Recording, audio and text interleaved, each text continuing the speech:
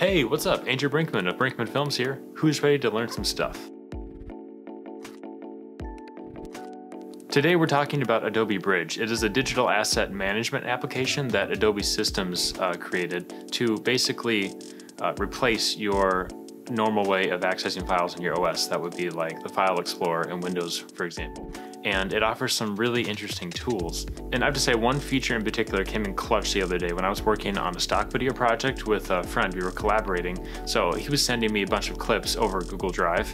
And, but the thing is when I had to download the batches that he sent me, uh, Google Drive zipped them all, each clip into individual folders. That would have been a pain to click through and then manually uh, bring into my FTP to get them onto the back end of the web page we were using to upload to our stock agency. So how did I go about fixing this problem? Well, I, all you have to do is open Bridge and go to the root folder that has all the other folders that you want to see things from.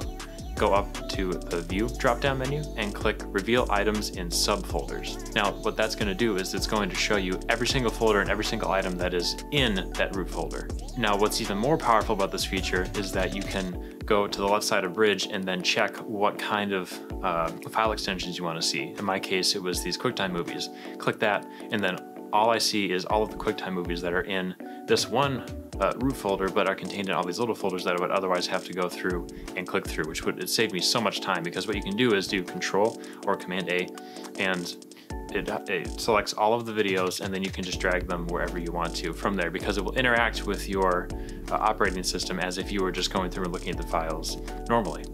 And this is really the biggest reason that I think it's important to know Bridge as a video editor because it allows you to interact with your assets in ways that you cannot do if you're just using File Explorer. So I hope that saves you some time if you ever have to go through and do these kind of things. Um, if you have any questions about Bridge, feel free to put them in the comments below.